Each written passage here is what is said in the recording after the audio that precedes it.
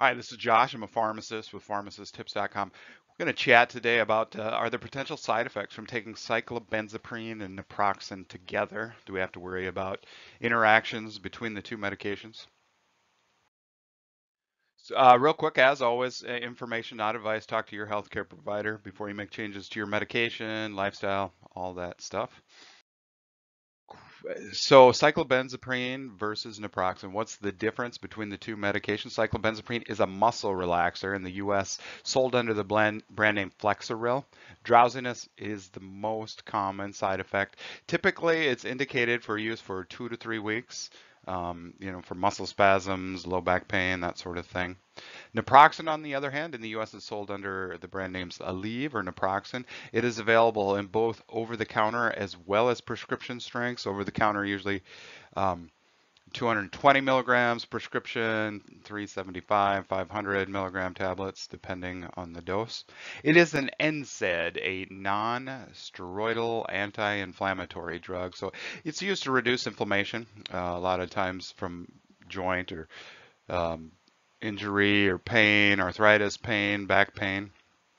Now, naproxen, as with all the NSAIDs, we have to be cautious if you have uh, cardiac issues, uh, can put certain folks at higher risk of heart attack and stroke. And those who have had stomach issues, uh, NSAIDs are known to increase the risk of uh, stomach bleeds and ulcers. No major interactions. The two uh, can be used together uh, safely. Drowsiness has been noted from the combination, but that's due to the cyclobenzaprine.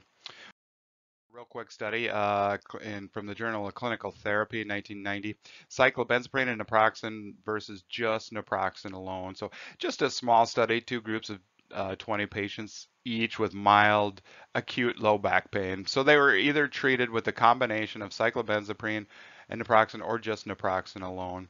So basically they found that um, low back strain benefited from the combination therapy.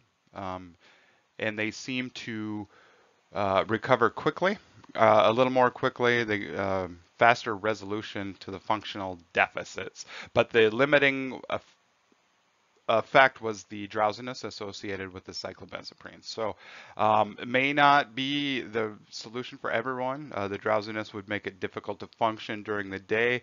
We need to be careful, especially older folks. Um, the drowsiness from the cyclobenzaprine could increase the risk of falling, uh, which could cause fractures.